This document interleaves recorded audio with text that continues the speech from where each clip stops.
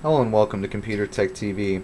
Today's question is, what is the best way to remove thermal paste from your CPU and or heatsink? Personally, I use ArctiClean. It's a two-step process. Basically there's one that removes the thermal paste and then the second one is actually a purifier to make sure the surface is fully clean. Do this to the CPU and the heatsink.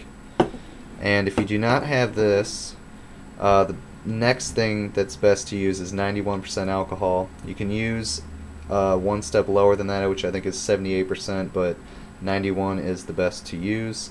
Basically, just use a lint-free cloth and just wipe it until you don't see anything more on there. Make sure the surfaces are fully clean. Reapply your thermal paste, and you should be good to go. Hope this answers your questions, and uh, if you have any more questions, please send them to me. Uh, thanks for watching. Please check out my channel if you haven't, and subscribe for the latest video updates.